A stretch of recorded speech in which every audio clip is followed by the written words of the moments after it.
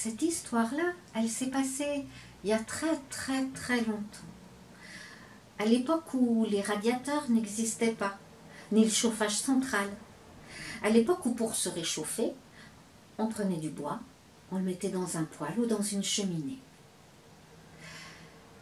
Elle se passe cette histoire dans une petite maison côté d'une grande forêt. Là habite Héloïse, une petite fille, et sa grand-mère. Et cet hiver-là est très, très, très froid. Il y a de la neige, et il fait tellement froid que même la rivière qui est près de la maison a gelé. Heureusement, il y a du bois pour pouvoir mettre dans le feu, pour pouvoir se chauffer. Sauf que ce matin-là, quand grand-mère commence à mettre le bois dans le, poêle pour, pour faire chauffer la maison, elle se rend compte que le tas de bois, il est presque terminé. Alors Héloïse dit à sa grand-mère, bah écoute grand-mère, je vais prendre le traîneau, puis je vais aller dans la forêt, là où le bûcheron nous a préparé un tas de petites bûches. Ah non, non, dit grand-mère, non, tu vas pas aller dans la forêt aujourd'hui. Il gèle tellement fort que tu gèlerais tes petites mains. Non, on va se avec le bois qui reste. Pour aujourd'hui, ça ira. Pour cette nuit aussi. Sûrement demain, il fera moins froid. Le jour passe, la nuit passe. Mais le lendemain matin, la rivière, elle est toujours gelée. Et grand-mère met le dernier morceau de bois dans le poêle. Il faut que j'aille chercher du bois, grand-mère. On n'en a pas assez pour aujourd'hui. Mais écoute, on va s'arranger, dit la grand-mère. Quand tu auras plus de feu, on mettra notre manteau. Et si on a trop froid, on se mettra dans le lit. Ce sera rigolo. La journée passe. Il n'y a plus de feu du tout. Alors, elles enfilent un gros manteau.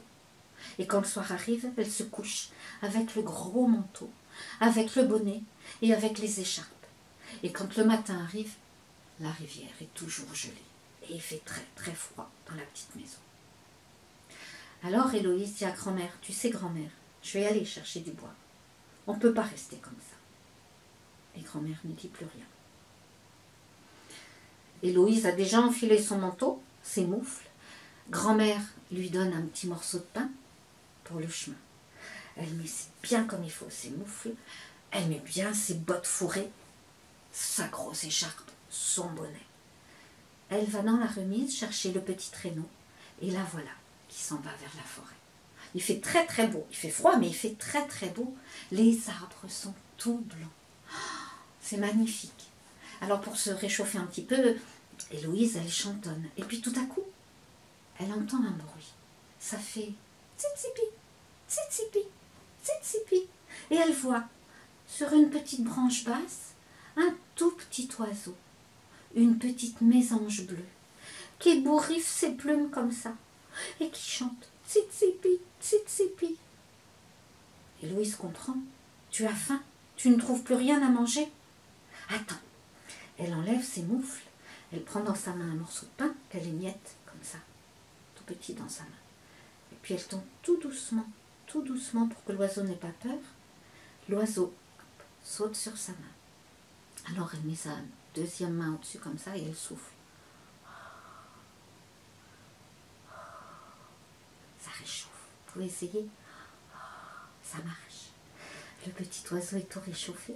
Il picore tout le petit pain qui est dans la main. Et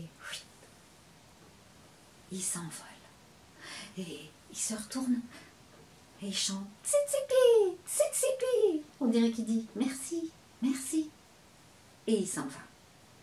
Elle est bien contente, Héloïse, mais alors, qu'est-ce qu'elle a froid aux Grand-mère a raison, hein Vite, elle remet ses moufles, et vite, elle avance jusqu'au tas de bois que le bûcheron leur a laissé. Elle commence à remplir le traîneau avec les petites bûches. Et puis tout à coup, derrière le tas de bois, elle entend un drôle de bruit. Ça fait graou, graou, graou. Alors elle fait attention, elle regarde, et elle voit un tout petit ourson. Un petit ourson qui a la patte prise dans un vilain piège d'humain. Vous savez, les pièges qui font comme ça, avec des dents en fer. Et a sa patte qui est prise dedans. Alors tout doucement, pour pas qu'il ait peur, Héloïse, elle s'approche et elle tire très très très fort sur le piège pour libérer le petit ourson. Hop Le voilà qui saute. Heureusement, sa patte, elle était juste coincée. Alors, hop, il s'en va tout de suite, tout de suite, en disant Graou, Graou On a l'impression qu'il dit merci, merci. Elle est contente, Héloïse, de l'avoir libérée. Elle lâche les mâchoires du piège, sauf que ça accroche sa botte et ça déchire sa botte. Et elle commence à avoir très, très froid aux pieds. Oh, elle se dit, grand-mère avait raison, il faut vite que je rentre maintenant. Elle met une dernière bûche et elle prend la ficelle de son petit traîneau et la voilà qui essaye de rentrer. Sauf que la nuit est presque tombée et qu'il se met à neiger. Il neige tellement qu'elle ne voit plus le chemin. Il est recouvert par la neige. Et bientôt, et eh bien bientôt, elle ne sait plus où elle est, Héloïse. Alors elle va un peu à droite, un peu à gauche. Elle est complètement, complètement perdue. Et elle a très peur et elle a très, très froid.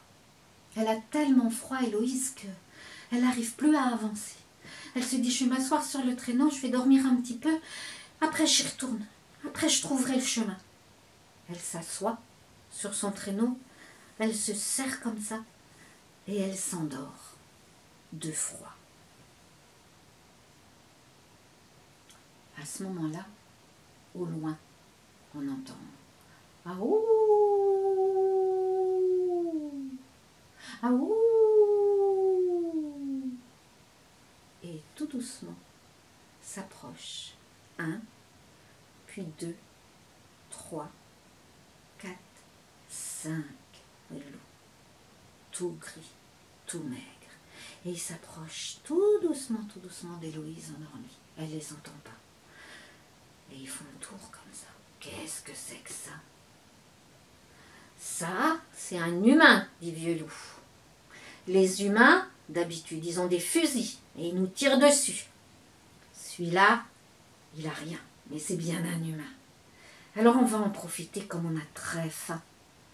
On va le manger.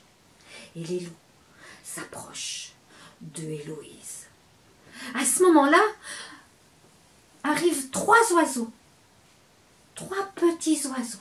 C'est le papa, la maman de la petite mésange. Et le papa mésange tourne autour de la tête, de la gueule du vieux loup en disant Mais ça va pas, non C'est pas un chasseur, c'est une petite fille. On mange pas les petites filles. Allez, va-t'en, vieux loup, va-t'en Mais vieux loup, avec sa patte, il envoie valser l'oiseau en lui disant Dégage, sinon je t'avale. Et il se rapproche encore des mais à ce moment-là, on entend boum, boum, boum, et les loups voient arriver trois ombres, deux énormes et une plus petite. Papa ours, maman ours et petit ourson. Et papa ours, il s'approche, et il s'approche, et il dit Ça va pas, non, les loups C'est pas un chasseur, c'est une petite fille. On mange pas les petites filles. Et là, les loups, ils disent rien du tout. Parce qu'un ours en colère, c'est beaucoup plus dangereux qu'un loup. Alors les loups, ils reculent, ils reculent, ils reculent. C'est bon, ça va, on y va. Ah, ils s'en vont. Maman ours s'approche d'Héloïse qui dort toujours. Elle la prend dans ses grosses pattes et elle fait comme Héloïse tout à l'heure.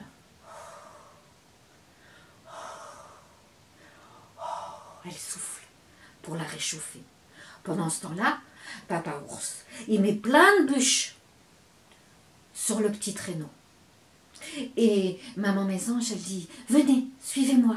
Je sais où elle habite, cette petite fille. Elle habite dans la petite maison, juste à la sortie de la forêt. Alors les gros ours, petit ours et les oiseaux, hop, se dirigent vers la petite maison. Devant la maison, la porte est ouverte. Grand-mère s'est bien habillée avec son châle et elle regarde dans le noir.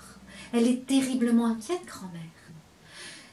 Ça lui fait quand même un petit peu bizarre quand elle voit arriver deux énormes ours avec un petit ours. Mais juste devant, il y a des petits oiseaux qui pépient. Tsitsipi, tsitsipi, tsitsipi, tsitsipi.